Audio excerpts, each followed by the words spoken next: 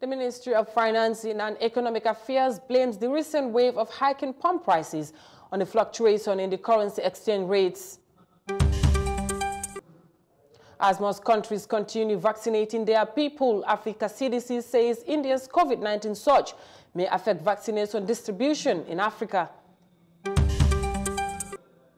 An IEC plans for national voter registration and advanced stage four months towards the presidential elections. These and more coming on the world today. Do stay with us.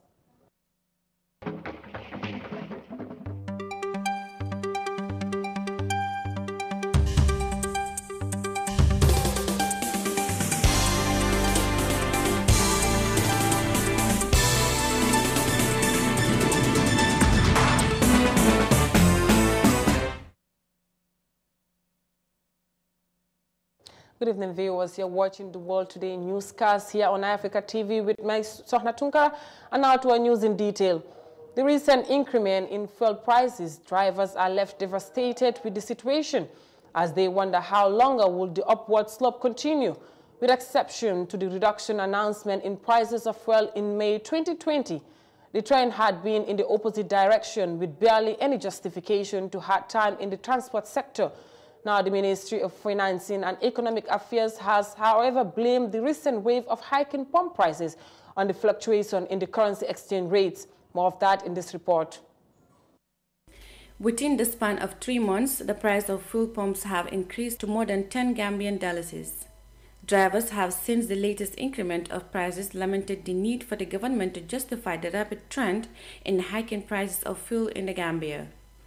Ibrahim Jallo, Communication Officer at the Ministry of Finance, explained the major causes of fuel price increment on the foreign exchange market. What Gambians need to understand, one, Gambia is not uh, an oil-producing country. And then oil prices are based on the international market price. Because if you look at it in the Gambia here, three factors are responsible uh, for price increment or reduction. First is the international fuel prices at the international market. Second is uh, the exchange rate, Gambia uh, dollar, dollar to dollar, and the third is taxes. So the first two are very crucial in this, because if prices of fuel at the international market increase, and the exchange rate, dollar to Gambia, from from dollar to dollar, also increases, obviously uh, taxes will also increase. And when taxes increase, then there's no way. Fuel also has to increase. With the frequent increment in fuel prices, as Mr. Jal explained, resulted from the monthly pegging of fuel prices in the international market. Fuel prices uh, are pegged at the end of, at the beginning of every month. Like not today you wake up, you find our fuel prices have increased. Now, if the fuel price, for example, uh, let's say $47 per liter in a particular month, it doesn't change until the month ends. When it goes like that until the month ends, then fuel prices are also calculated based on what is obtained from the international market. Just like, like I told you, these are the main reasons. The three main factors are responsible. One, uh, price in the international market. Once it is it increases there, and also the exchange rate increases. We know that you know the the dalasi is depreciating every now and then, and the dollar is constantly appreciating. The more the dollar appreciates over the dalasi, and prices increase in the international international market, then that affects taxes. When taxes are affected, then domestic fuel price also changes. The global demand for oil has been increasing, outpacing any gains in oil production and excess capacity.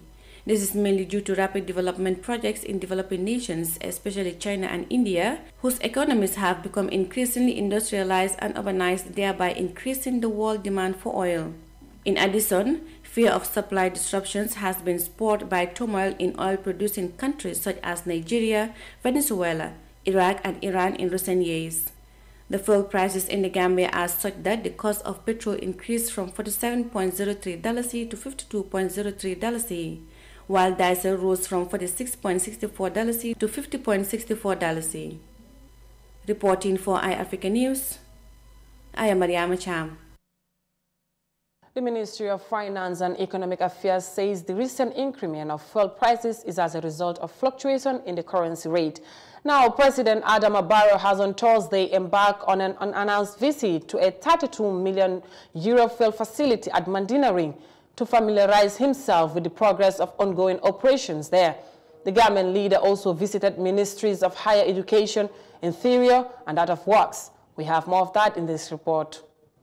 The fuel facility, once administered by the Chinese, is now controlled by Gambians. President Barrow says he sent a surveillance team to the site prior to his coming to see how the place is being administered. The unannounced visit is to ascertain by himself the realities on the ground. He has shown contentment in the administration and says the facility is crucial to national security and needs protection.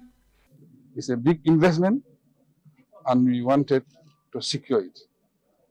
We are very concerned about national security, and this is part of national security. That's why we adopted a policy that we want to manage it with Gambians leading.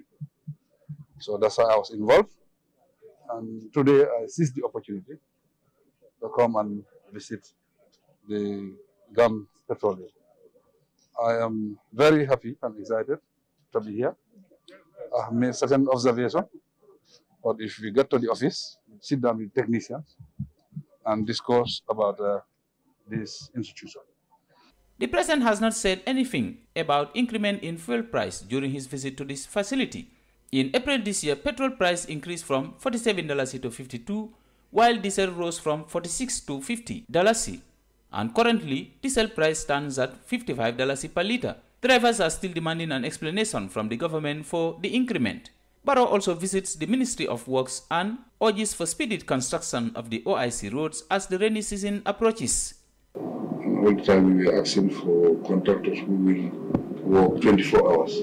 It's like three shifts. I think that will be the only way we can do it quickly and faster. If you are talking about 24 months, if you divide it into three shifts, you know, every day is like you are covering three days. So you can do it fast and we want quality because this is a project that should be a lifetime project. That's why it is very, very expensive. It's 22 kilometers, but you're talking about $83 million. It is not small money. You know, people will be talking about roads, but it's not easy to build, build, roads. Yes, but I think it's high time we start to do that and expand our roads. Yes. The 32 million GAM petroleum terminal at Mandinaring consists of 17 fuel tanks with a storage capacity of 51,000 metric tons of fuel as well as liquid propane gas LPG. It has 19 loading bays for tanker trucks. It also has gauging and metering equipment, fully equipped with LPG bottling plant and three offshore pipelines. Reporting for iAfrica TV, this is Omar Ahmadu Toure. From the report by Omar Ahmad Toure, we move to Africa CDC, where a growing concern among African leaders, including Africa CDC, that the increasing of COVID-19 cases and deaths in India could affect the ongoing coronavirus vaccine rollout in the continent. The Asian country's decision to stop vaccine exports may further hinder the progress of the ongoing vaccination program in different countries. And despite the worries, the African leadership could now rely on the Johnson & Johnson vaccine after initial agreement with the South African firm. Details in this report. The unexpectedly rising COVID-19 new cases and death due to the pandemic in India continue to worry the African continent. What's even worse is, due to the decisions of the Indian authorities to halt vaccines exports, African vaccination plans remain in jeopardy. There is no doubt that the India situation, as we have discussed on this uh, platform already, uh, has severely impacted uh, the predictability of the rollout of vaccination programs and will continue to do so for the, the coming weeks and, and, and perhaps months. But there is also good news. Because of the arrangements made earlier with Johnson & Johnson, Africa could receive at least 120 million doses of vaccines soon. That supply will start uh, hopefully, uh, not well, not hopefully, but uh, the agreement and the contract uh, says this, it will start delivery the first uh, quarter, the, the, beginning of the, the third quarter. So I think that is what we have in our hands, and um, we are doing all we can to um, address the situation from the African Union side uh, uh, as much as possible.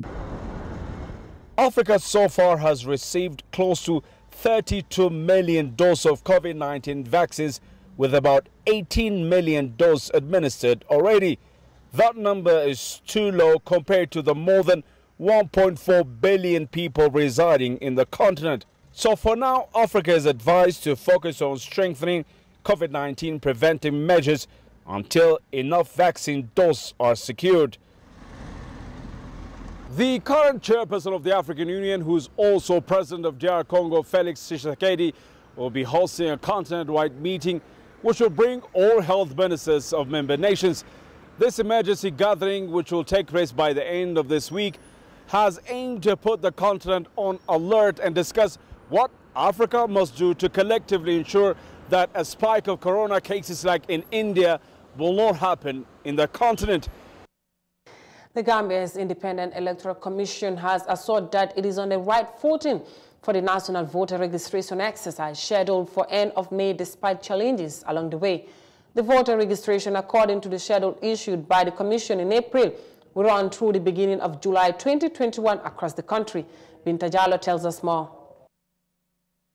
The latest schedule, unlike the previous one, will go ahead as planned, according to the country's Electoral Commission. Mid of January was the initial date for the commencement of the 2021 voter registration, but the schedule was moved to end of May thanks to logistical constraints. Director of Training and Communication of the IEC, Pa Makan Khan, hinted iAfrica on the level of preparedness to kick off with the voter registration. Uh, right now, we, are not relenting. We're working fast as well to catch up uh, with the days. Because right now, as you can see, uh, the office is virtually empty. Most of the senior staff uh, and the chairman, the chairman of the IEC, are on a uh, tour around the country uh, to meet with local authorities stakeholders in, in, the electoral process. In this case, particularly, we're talking about the local authorities. This include the chiefs, uh, the governors, uh, uh and, and, other local authorities. So this is uh, part of the uh, preparations that are being undertaken to engage people or to engage stakeholders so that they can be informed and aware of the plans that are ongoing with regards to the voter registration exercise. Mr. Khan said that the Commission has other programs such as the voter education, engagement with artists, training of registration staff, which will begin in earnest after which voter registration staff would be selected. Uh, as of now, we just uh, we did the interviews and testing of uh, the candidates who applied uh, to be hired as voter registration staff, we just completed last week. So currently we are in the process of finalizing, mm, doing the final selection uh, of those staff. So I hope we'll have the numbers. Of course, uh, we have some criteria which all the staff need to meet. And this is that they have to have a background in IT studies. So we're trying to make sure that the people we hire are conversant Mm, with, uh, with IT. Because as you know, this is a biometric system and we'll be using the, the computer, mainly computer laptops. So we ensuring that staff uh, have a good background on IT so that they can be easily trained on the job and then so that they can also deliver effectively.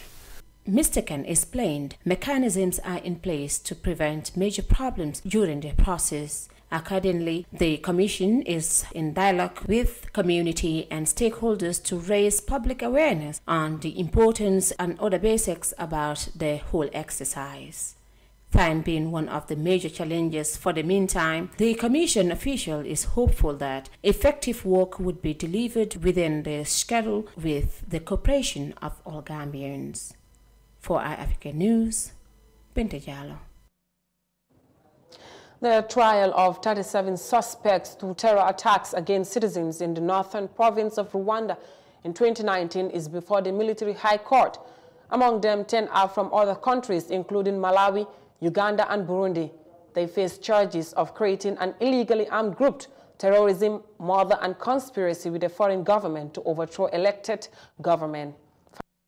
Tells us more. In 2019, a group of unknown assailants equipped with great weapons, including knives and guns, attacked a village in the Musanze district of northern Rwanda. The prosecution said some of them carried out the attacks in Kinijini in northern Rwanda in September 2019, killing 15 people and injuring 14 others. Kinigini sector hosts the headquarters of Volcano National Park for endangered mountain gorillas. Among the other charges they face include complicity in armed robbery as well as attempted murder. Some of the accused admitted to what they have been accused of, while others have denied the charges of terrorism and murder. Some confess to have been recruited into this group under the guise of getting employment opportunities in the mining sector, something the prosecution have refuted as attempt to evade the gravity of their involvement in the crimes committed. The prosecution highlighted the role of the security forces in Burundi and Uganda providing evidence on how these people obtained documents allowing them to cross into the country. In July 2020, the 36 appeared in court asking for bail and the 37th among them, Sergeant Emmanuel Ngirishuti alias Kaniyemara was able to escape and is still at large. They are responsible for attacks on unarmed civilians in villages of Kinigini and Musanze sector during the night of the 15 October 2019, killing at least 15 people and injuring 14. They also looted property. Some of the suspects were captured during the attack in Musanze, while others were apprehended by the UN peacekeepers and Congolese military during operation against armed group operating in the country. The trial is expected to continue on Wednesday and Thursday this week. For iAfrica News, I am Fatmata Kasim. We will now go with a short commercial break. More news to come on the world today. Stay tuned. The pride we take in our brand, the work we put into constantly change the landscape and elevate real estate in the Gambia, it's compared to none. From inception, our goal was to add value to the beautiful Gambian landscape. That's why we are proud innovators of community estates. Kololi Sands is an exceptional piece of work, tailored for ultimate convenience and luxury, to bring you an element of finesse that is rare but unique in its own. This is also our pride and joy, and we welcome you to the exquisite beauty right here in Kololi and right here on the waterfront. Kololi Sands, feel the ocean breeze at your doorstep.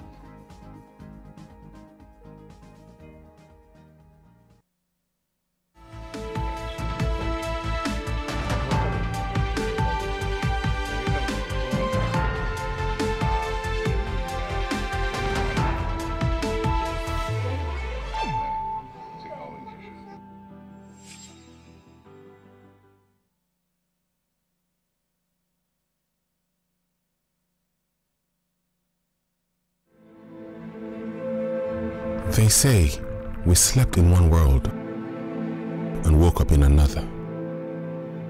This global tragedy got humans together despite our social distancing.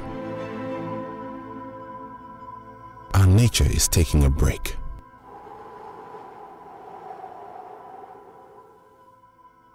And giving us a wake up call on what and who truly matters.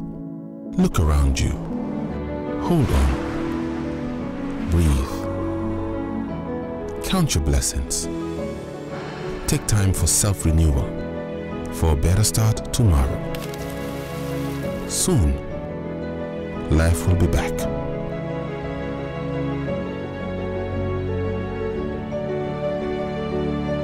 Meanwhile, let's stand apart together with one heart.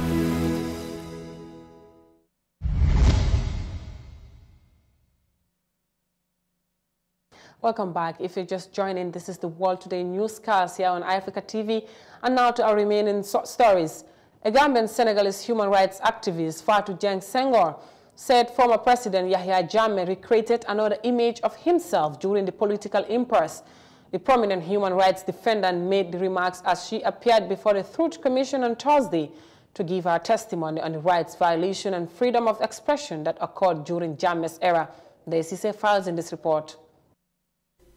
Freedom of expression and enjoyment of rights were curtailed during the presidency of Yahya Jammeh, despite the establishment of human rights policy and Article 19, which entails freedom of expression and access to information. Media practitioners and citizens in the Gambia were obstructed from expressing their views. This forced many journalists and right activists to go into exile with Senegal being the popular destination. Prominent among them is Gambian Senegalese human rights activist Fatou Jagne Senghor. She explained her activism journey with Article 19. Article 19 is a human rights organization. Uh, moom nag benn mbootaay guy dox na ci wàlli do yelleefi doomu aadama la. focusing uh, on freedom of expression and access to information. Uh, nga xam ne ni nag danañ mun di tas xibaar ci ay ci sago uh, nit ak itamit mun a jot ay bataaxel. The organization takes its name from Article 19 of the Universal Declaration of Human Rights. ñu ngi jël nag seen tur bi nag ci article 19 di di nangatoo ci buñ sësalante ci wàlli Geneva. It was set up in uh, United Kingdom, in the United Kingdom. ñu commencé woon ko nag ca United Kingdom di réewi Angleterre. It has its first office in South Africa, Eh, precisely Johannesburg. Eh, njëlbeen nag ca South Africa ñu eh, gën a leeral daal di Johannesburg di capital ba. As we speak today, the organization has different regional offices. ci jamono ji ñuy wax ni nag buntu liggéeykaay boobu am na ay office yu bëri ci tund yi. Uh, three of them on the continent. ñett nag nekk ci diwaani Afrika. One in Senegal for West Africa. In January 2017, the Gambia was plunged into a protracted political crisis after the then incumbent president Yahya Jammeh rejected the election results in late 2016. Mrs. Senghor explained the steps taken by her organization to address the issue. So when he uh, changed his mind, jamono bi nga xamee ni ci la wecci xelam ne nag. I think uh, we were all shocked. ñun ñëpp nag ñu jaaxlewaat. Yeah, and uh, we realized that we have to start again. What was the reaction of the country when he changed his mind? Of the country? I was already in uh, back in Dakar in the night. gannaaw loolu nag dellu ci dellu jiwaat naa Dakar ci guddi gi. And uh, we started to talk to many Gambians, including the coalition. commencé na di wax ak Gambien ci bëri bokk na ci nag di coalition bi. But I think the first thing was safety. How people were, were people safe? Because of course uh, we were more concerned about what next, you know.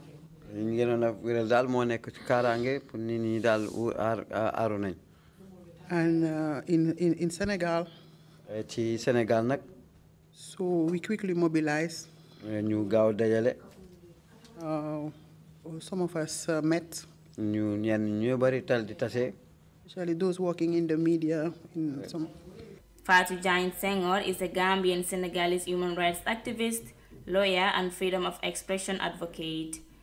She is well known for her work in human rights in West Africa, especially in the Gambia.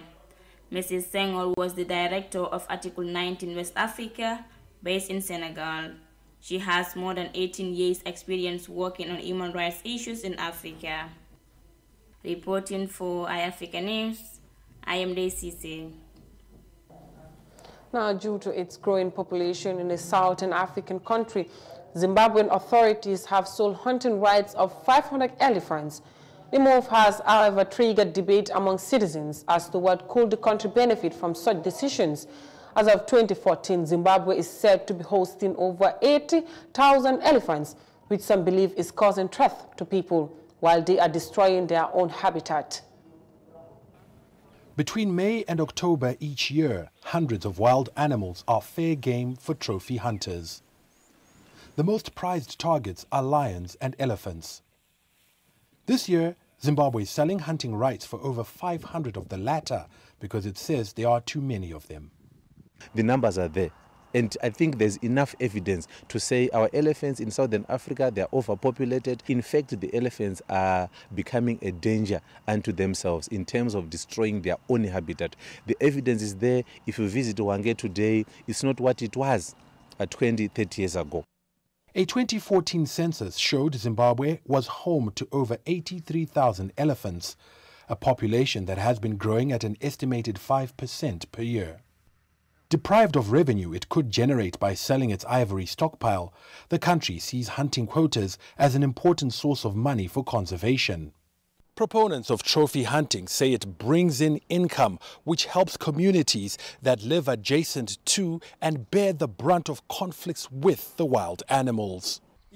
However, opponents say the benefits are overstated. Over the years, uh, we have seen um, issues to do with corruption at community level. We have seen even communities are actually complaining that they are not getting any benefits from uh, this process. Controversial hunt's value at national level has also been questioned. There are some researches which you can check on. Uh, they are indicating that trophy hunting per se brings contributes around 0.3% to the national economy.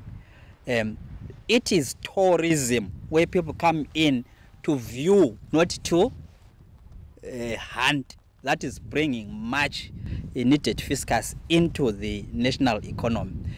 The raging debate poses important questions.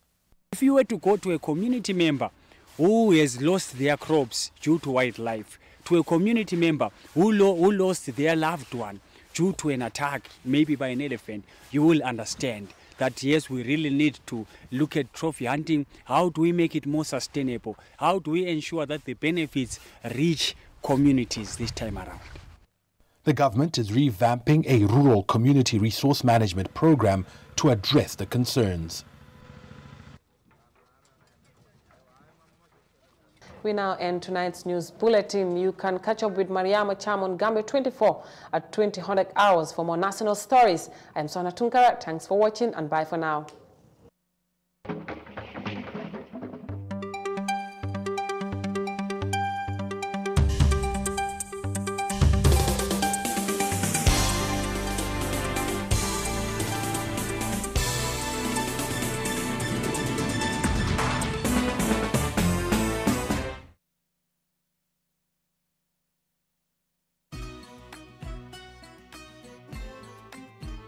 Star GSM Electronics. Special